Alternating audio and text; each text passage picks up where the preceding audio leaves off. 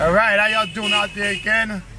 It's Trevor here, documenting the blog Monday. Start of another week. Week is already moving forward. Got a lot done today. Look at this guy. Just pull up in the middle of the road. Turn here.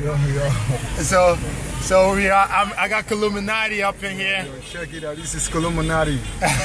Yo, check it out. So he's gonna show us the two places. I'm gonna let you talk. I'm gonna let you hold the camera. Yo, yo, yo, this So is tell me exactly what we're doing. Yo, this is Alimamy Hemkamak, aka Kaluminati. Um, we're heading to my office where I work. I work with IN, which is International Education Resource Network, where we we give scholarship to school-going children to go do a study one academic year in the US, and we offer like training for computer software for school-going children and less privileged youth around. And we're going to the office now at the National Stadium Hostel.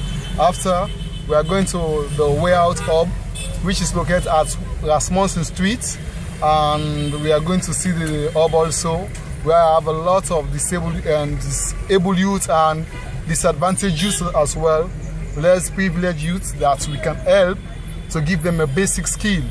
Um, me and Trevor, we're on the car now on our way to there. So get ready to see more. So yeah, we are get ready to see more. So then we at the top now, and we're not gonna stop now. Ain't that right? Check it out. All right, check you guys in a little bit.